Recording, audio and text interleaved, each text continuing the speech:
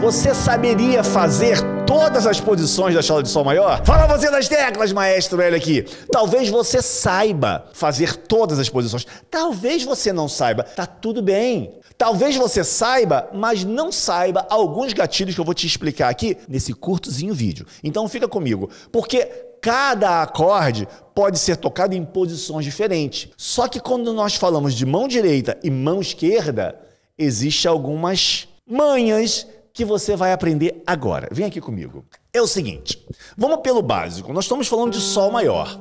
Dó, aqui duas notas pretas. Dó, Ré, Mi, Fá, Sol. Vamos falar desse acorde aqui de Sol maior, que é esta nota, esta nota e esta nota. Esse é o Sol maior. Talvez você saiba de qual é salteado, talvez você esteja vendo pela primeira vez. Aqui também é Sol, aqui também é Sol, aqui também é Sol, mas ficou mais agudo. Aqui é Sol, aqui é Sol, aqui é Sol. Ficou mais grave, mas não importa, é Sol. Então é o seguinte: eu tenho quantas posições para esse acorde?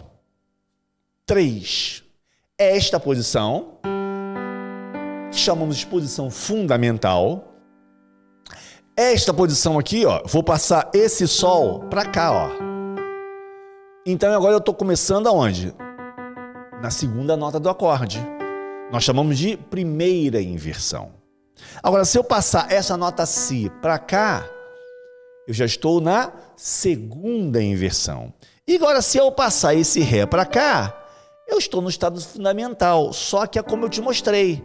Eu fiquei mais agudo, posso ficar mais aqui.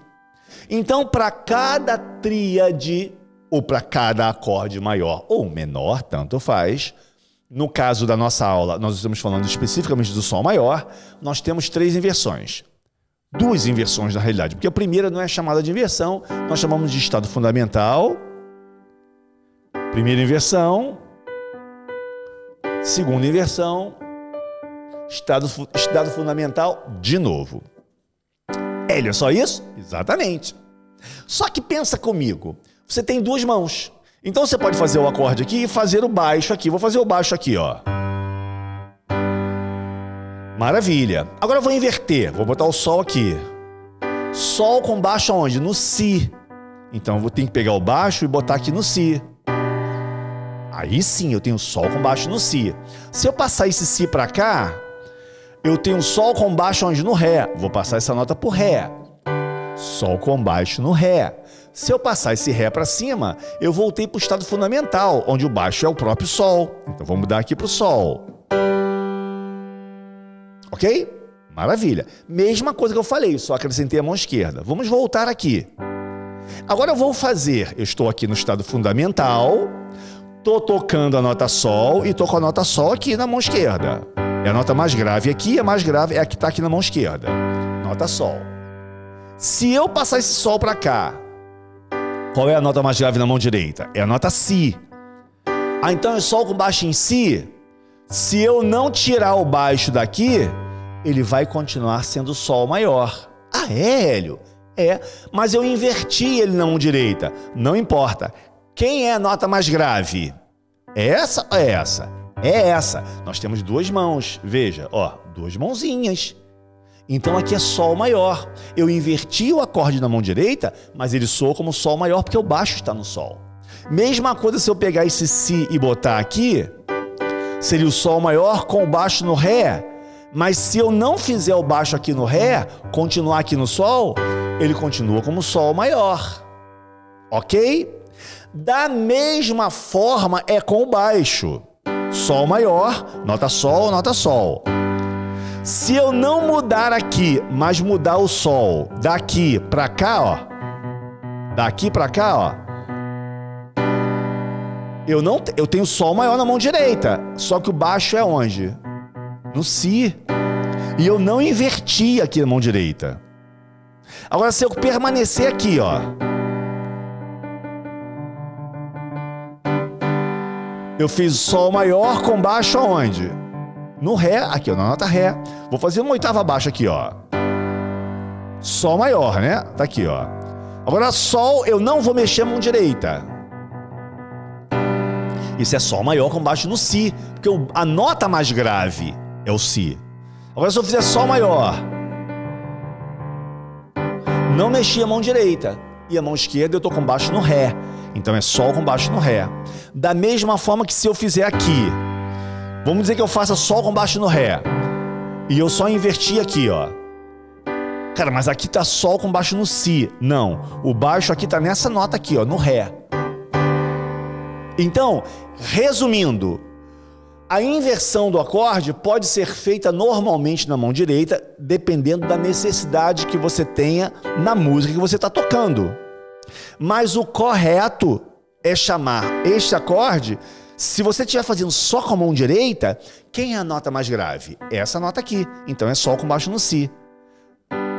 Agora, se você está tocando com as duas mãos, quem vai fazer a nota mais grave? A mão esquerda. Então, se eu faço eu tenho Sol maior. Mas se eu inverto a direita, eu apenas coloquei as notas numa posição diferente, mas o baixo continuou no Sol. Então isso aqui é Sol maior. Então entenda, isso é muito importante. Você pode usar a inversão de acorde. Se você tem um Sol maior e você quer inverter o acorde da mão direita para ficar mais fácil de você tocar. É só você permanecer com baixo no sol na mão esquerda. E você faz a posição que você quiser aqui na mão direita, de forma que fique melhor para você quando você estiver tocando, para o que você está ouvindo. Ok? Mesma coisa quando você tem um sol com baixo no si, basta você fazer si na mão esquerda com a nota mais grave. Ou com acorde ou só a nota do baixo. Tanto faz.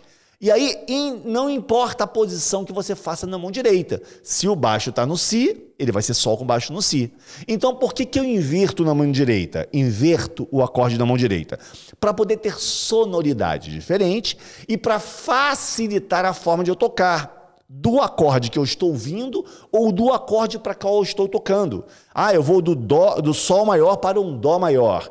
E aí, dependendo da posição que você queira fazer o Dó, você vai modificar a posição do Sol para as notas ficarem mais próximas.